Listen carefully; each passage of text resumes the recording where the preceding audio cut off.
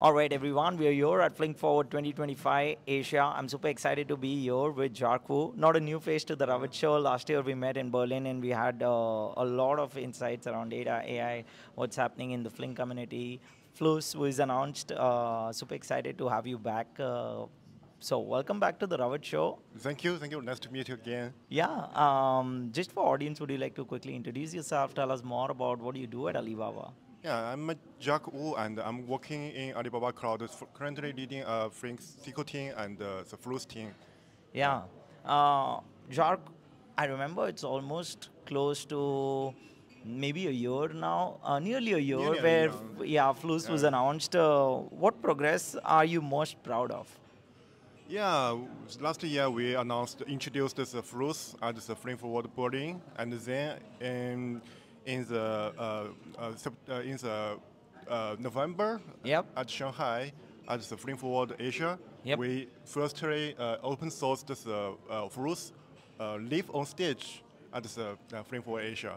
Yeah. And uh, yeah, yes, that, was an amazing moment because the, the venue was in excitement Yep. and the, the uh, GitHub star reached to 500 GitHub stars uh, in single one day. Wow. So that is uh, Yeah. a incredible, incredible day for me in Yeah. my life. Yeah, and Yeah, uh, that's massive. yeah, and uh, today at Flink Forward Asia uh, 2025, we also uh, proud to announce that uh, Alibaba has already completed the uh, donation for Fluss to Apache Software Foundation. So Nice. this is another uh, milestone, I think, for for the Fluss and the Fluss community. Yeah. That's fantastic, and uh, those are definitely good, uh, you know, validation from the community as well. Just in one day, you'll get like 500 GitHub stars when you'll announce. It's massive, and we've been seeing the growth uh, closely as well. Uh, another quick question for you: How has the community responded to Fluss so far? Can you share adoption stats and the ecosystem stories as well with our audience? Yeah, I think it's, the community is um, growing very fast because we are continually to invest it. Yep. And uh, yeah, we already current, currently have uh, more than 50 contributors all from the uh, world, all huge. across the world. Yeah. Yeah. And uh, yeah, such as companies, uh, ByteDance, uh, and uh, uh, Ant Group, and Mm. uh, Xiaomi, and uh, eBay, and uh, and uh, yeah, and, and so I, I can't remember all the companies. So many companies, yeah. Yeah, and uh, also the adoption is already in uh, at a larger scale uh, at Alibaba's provide, uh, in, um, production environment. Right. And uh, Fluss currently already managing um, over three petabytes uh, data size in Alibaba, and uh, with a cluster of uh, 40 GB size per second the throughput. So Yeah. I, I think it is already a very large scale, um, but the number is continuously growing- because we are continuous to expand the usage in Alibaba. Yep. Uh, yeah, so I think it is a um, nice uh, start point for, for today, and we are looking forward to more uh, contributors and uh, customers to using Fluss. Yeah. Love it. Uh, I'm kind of also wanting to know a little bit about uh, how is, um, first of all, what's the next milestone on the roadmap for Fluss? If you can share that with our audience.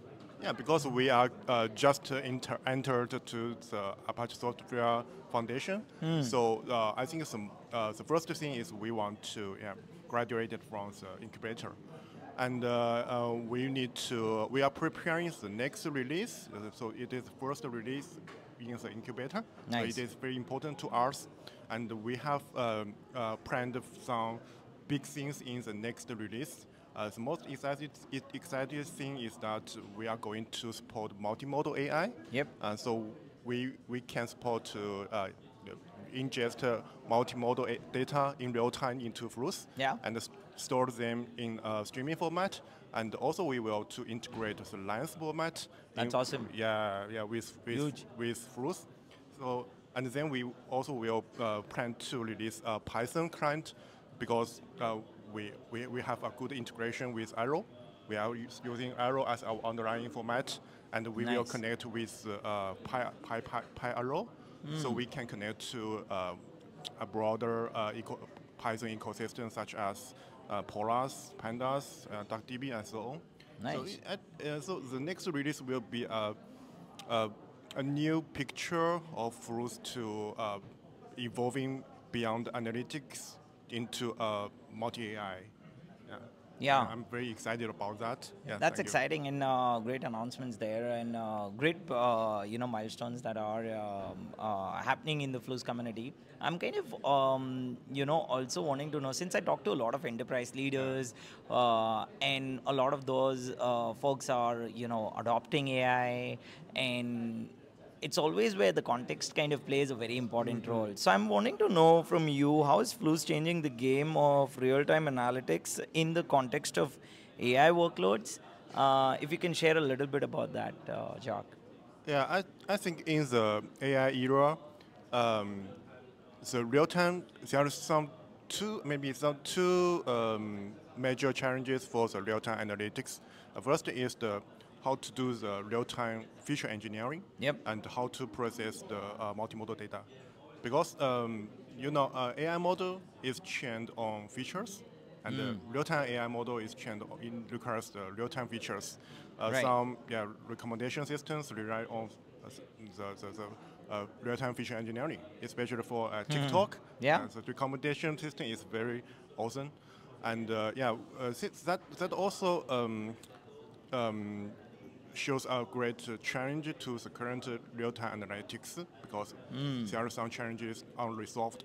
But I think through, through some, some key features, some key functionality in Fluss, such as the uh, partial update, uh, schema evolution, and uh, uh, and some uh, yeah some key, KV lookups, uh, they, they will help the uh, real-time fe- feature engineering a lot to help them to do feature easier, such as adding features or update the features.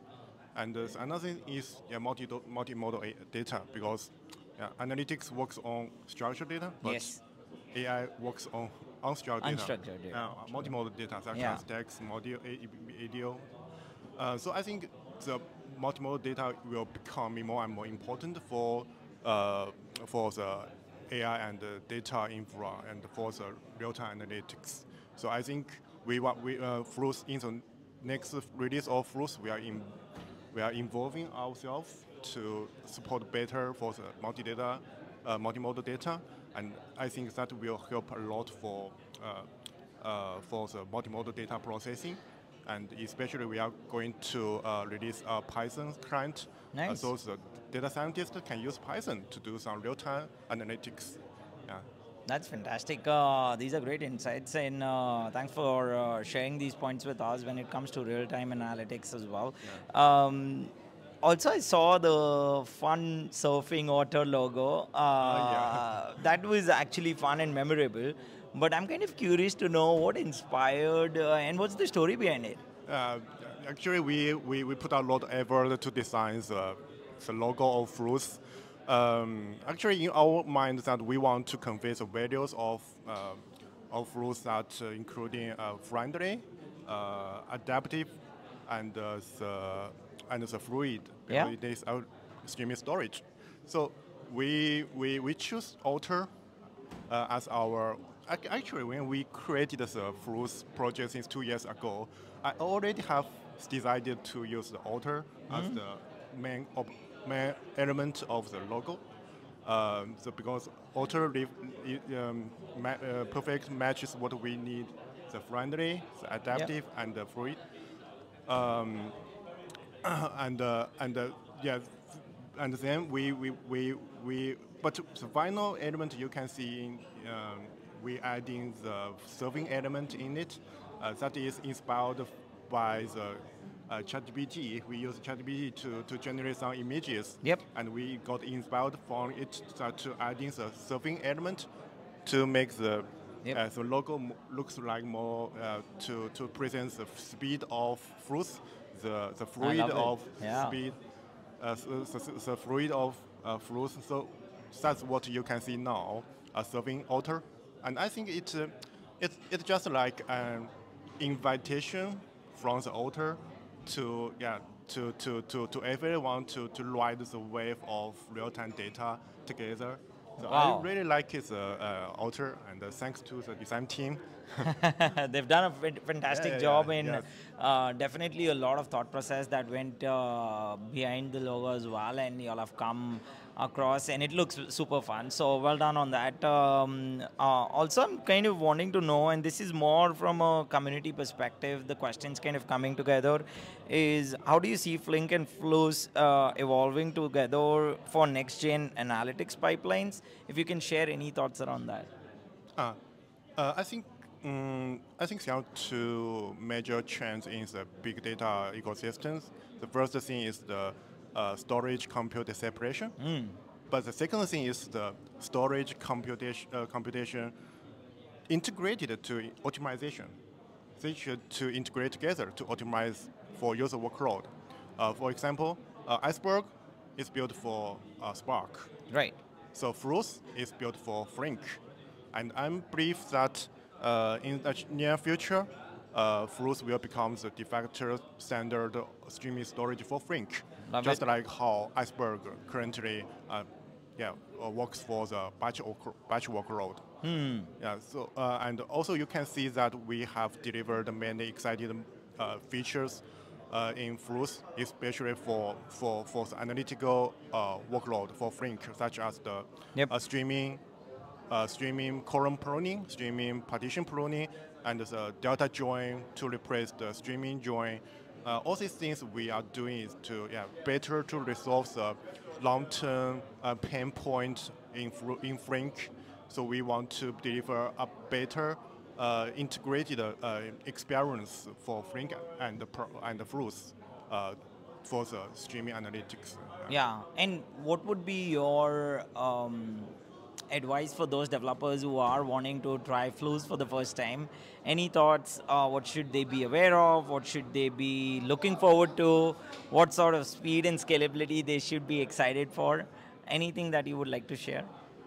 Yeah, I think um, um, I think I want to convey the messages to to them that uh, if you are uh, if you are using Flink and looking for a, a good storage for uh, to work with Flink, so try Fluss. Yeah. Uh, if you are building a lakehouse, and if you want to make the lakehouse to be more real time, because Iceberg currently can work on yeah 10 minutes, I think. Uh, so you can try.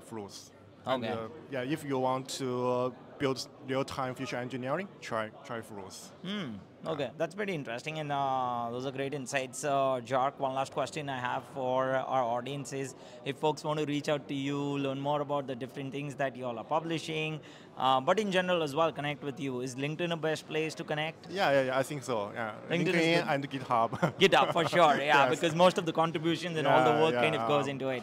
So thanks for doing this, but uh, we'll keep the conversation going. It's always good to see you, Jark, and uh, thanks for all the amazing insights and thanks for all the great work that you do for the community. Thank you, thank you, and uh, looking forward to meet you Again, in Barcelona, right? In Barcelona. right? Yeah. All right. Uh, thank you, everyone, for joining us today. That's Yeah, Jark for you.